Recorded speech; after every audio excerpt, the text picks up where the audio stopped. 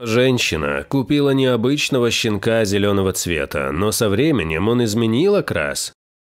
Одна девушка мечтала обзавестись необычной собакой. Она постоянно пересматривала интернет в поисках подходящего щенка, пока однажды не наткнулась на странного малыша. Хозяйка лабрадоров продавала щенков, а один из них был зеленого цвета. Девушка настолько обрадовалась, что предложила хозяйке на 2000 больше за необычного кроху. Хотя по цене он не отличался от своих собратьев. Когда наша героиня увидела песика, то поняла, насколько он необыкновенный. Сначала она подумала, что шерсть малыша покрасили краской, но это оказалось неправдой. Девушка решила сводить щенка к ветеринару, чтобы он осмотрел его. Врач сообщил, что щенки с зеленой шерстью рождаются крайне редко. Происходит это из-за того, что плацента матери содержит много зеленого пигмента – биливердина, поэтому щенок и рождается таким. Со временем шерсть питомца побелеет, и он станет обычным лабрадором. Девушка сначала расстроилась, услышав эти слова, но она уже настолько полюбила своего лохматого кроху, что ей было все равно, зеленый он или нет.